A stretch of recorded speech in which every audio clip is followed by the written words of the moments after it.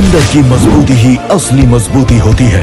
जैसे Saluja gold TMT सरिया क्योंकि सिर्फ़ यही है 24 कैरेट गोल्ड की तरह असली स्टील से बना जो दे आपके निर्माण को बेमिसाल मजबूती अंदर से। सलूजा गोल्ड टीएमटी सरिया गारंटी असली स्टील की। गारंटी मजबूती की।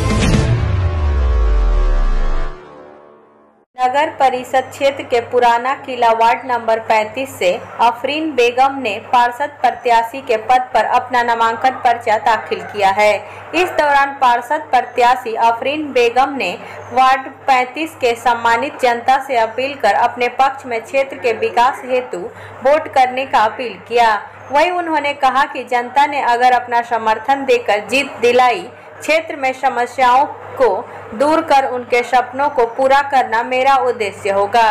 नामांकन के दौरान प्रत्याशी प्रतिनिधि मोहम्मद राजा ने कहा कि अगर जनता ने मौका दिया तो अधूरे कार्यों को पूरा करना और जल जमाव से लोगों को निजात दिलाने हेतु सड़क नाला तथा साफ़ सफ़ाई की व्यवस्था करना मेरी प्राथमिकता होगी।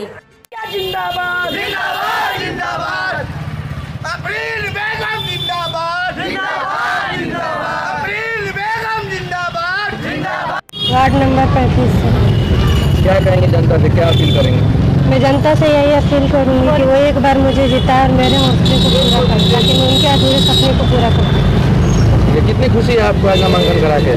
बहुत ज़्यादा भीड़ देख के आप देख काम होगा ना पूरा? जी बिल्कुल होगा। अपना नाम बता दीजिए।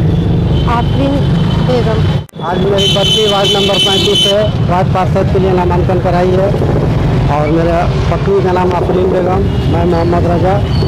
वार्ड नंबर पैंतीस से किया ठीक है कितना विकास अभी तक बाकी है? विकास क्या बाकी है क्या नहीं है खुद आप जाके देख सकते हैं।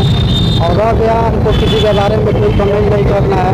अगर वार्ड नंबर पैंतीस की जनता हमें जिताती है और हम वहाँ उस पद पे हमको पहुँचाती है तो जो भी काम बाकी है उसको पूरा करते हुए अगले से बेहतर करने का तजुर्बा रखते हैं। जनता से क्या अपील करेंगे? जनता से अपील यही करेंगे कि एक बार अवश्य हमें